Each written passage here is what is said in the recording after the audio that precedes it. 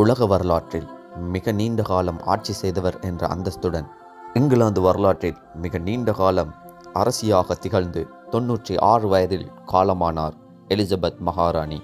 தனது தந்தையின் மரணத்திற்கு பின்னர் எலிசபெத் மகாராணி ஆயிரத்தி தொள்ளாயிரத்தி ஐம்பத்தி ரெண்டு பிப்ரவரி ஆறில் இருபத்தைந்தாவது வயதில் அரியணைக்கு வந்து பின்னர் அதே ஆண்டு ஜூன் இரண்டில் முடிசூடப்பட்டார்.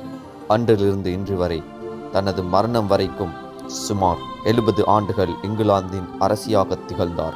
சில மாதங்களுக்கு முன் நோய்வாய்ப்பட்டிருந்த இரண்டாம் எலிசபெத் மகாராணி இரண்டாயிரத்தி இருபத்தி ரெண்டு ஒன்பதாம் மாதம் எட்டாம் திகதி அன்று பல்மோரல் கோட்டையில் காலமானார். இருபத்தி ஆறு இளவயதில் மகாராணியாக முடிசூட்டி பிரிட்டனின் வளர்ச்சியில் ஒரு முதுகெலும்பாக இருந்து பிரிட்டனின் பதினைந்து பிரதமர்களைக் கண்டு பல நாடுகளின் தலைவர்களைக் கண்டு எழுபது ஆண்டுகள் அரியணையில் ஆட்சி செய்து கிடைப்பது என்பது ஒன்றும் இலகுவான காரியமல்ல. ஆனாலும் மரணம் யாரைத்தான் வித்தி வைக்கும்? பல கட்டங்களில் எடுக்கப்பட்ட புகைப்படங்களை இங்கு காணலாம்.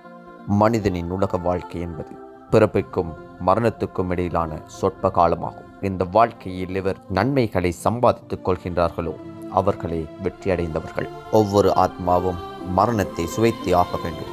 நீங்கள் எவ்வளவு பிரம்மாண்டமான கோட்டைகளில் இருப்பினும் மரணம் உங்களை வந்து அடையும்